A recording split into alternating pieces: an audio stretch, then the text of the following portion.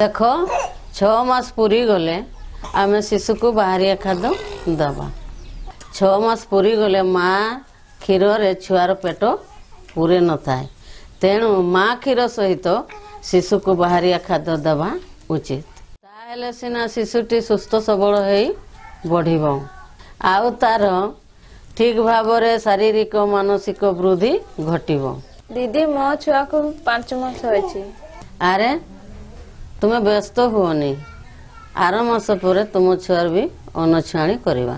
ହେଲେ ଦିଦି ଆଜି ପ୍ରଥମ କଣ ଖୁଆଇବୁ? ହଁ ବିନି ସେଇଥିପାଇଁ ତ ମୁଁ ଆସିଛି। ଅଙ୍ଗନବାଡ଼ିରେ ଯେଉଁ ଆମର ଛତୁଆ ମିଳୁଛି ପ୍ରସ୍ତୁତ କରି ଖୁଆଇବା। ଦେଖ ଛତୁଆରେ ଗହମ ବୁଟ ଚିନାବାଦାମ ଚିନି ମିଶିକରି ତିଆରି ହେଇଛି। ଏଥିରେ ଭରିପୁର ଭିଟାମିନ୍ ଅଛି। ଦିଦି ଖାଲି ଛତୁଆ ହିଁ ଛୁଆକୁ ଖୁଆଇବା। କେବଳ ଛତୁଆ ନୁହେଁ ଆମେ ଶିଶୁର ବୟସ ଅନୁସାରେ ପରିପୂରକ ଖାଦ୍ୟ ଦେବା। ଯଥା ଆମ ବାଡ଼ି ବଗିଚାର ପନିପରିବା ସିଝା ଅଣ୍ଡା ଆମିଷ ଜାତୀୟ ଖାଦ୍ୟ ଟିକେ ଟିକେ ଶିଶୁକୁ ଖୁଆଇବା।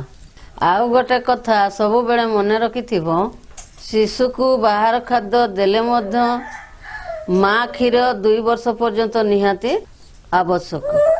ଖାଲି ଖୁଆଇଲେ ହେବ ନାହିଁ ପରିଷ୍କାର ପରିଚ୍ଛନ୍ନ ମଧ୍ୟ ରହିବାକୁ ପଡ଼ିବ। ଯେଉଁ ପାତ୍ରରେ ଖୁଆଇବ ସେ ପାତ୍ରଟି ସଫା ରଖିବ। ଖୁଆଇବା ପୂର୍ବରୁ ସେ ଶିଶୁକୁ ସାବୁନରେ ହାତ ଧୋଇ ପରିଷ୍କାର କରିବ। ତା ସହିତ ତୁମେ ମଧ୍ୟ ସାବୁନରେ ହାତ ଧୋଇ ସଫା ରଖିବ। ଶିଶୁକୁ ଅଧ ତରଳ ଖାଦ୍ୟ ଦେବା ବେଶୀ ପତଳା ନୁହେଁ କି ବେଶୀ ବହଳ ଏହି କରୋନା ମହାମାରୀ ସଙ୍କଟରୁ ନିଜ ଛୁଆକୁ ସୁରକ୍ଷିତ ରଖିବା ପାଇଁ ତାଙ୍କ ଖାଦ୍ୟପାନୀୟ ଉପରେ ବିଶେଷ ଧ୍ୟାନ ଦେବା ଦରକାର କାରଣ ତାଙ୍କ ଶରୀରରେ ରୋଗ ପ୍ରତିରୋଧକ ଶକ୍ତି ବଢ଼ିବା ଦରକାର ହୋଇଥାଏ। ଛୁଆଙ୍କୁ ଠିକ୍ ସମୟରେ ଏବଂ ଉପଯୁକ୍ତ ମାତ୍ରାରେ ପରିପୂରକ ଖାଦ୍ୟ ଦେବା ଦରକାର ଯେପରିକି ଖାଦ୍ୟର ବିବିଧତାକୁ ଧ୍ୟାନ ଦେବା ଦରକାର।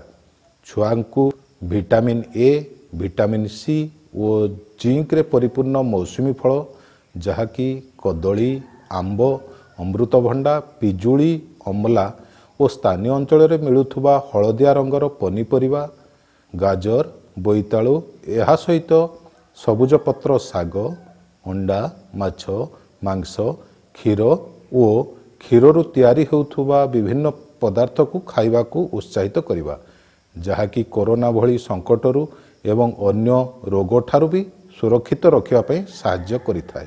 ଏହା ଛଡ଼ା କାଶିବା ଓ ଛିଙ୍କିବା ସମୟରେ ରୁମାଲ କହୁଣୀ ବା ମାସ୍କ ବ୍ୟବହାର କରିବା ଦରକାର।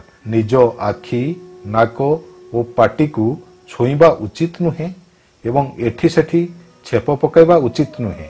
ଏହା ଛଡ଼ା ଦୁଇ ବ୍ୟକ୍ତିଙ୍କ ମଧ୍ୟରେ ସାମାଜିକ ଦୂରତା ରଖିବା ଦରକାର। ସାବଧାନତା ଏବଂ ସଂଯମତା ଆପଣେଇବା ଆସ ମିଳିମିଶି କରୋନାକୁ ହରାଇବା।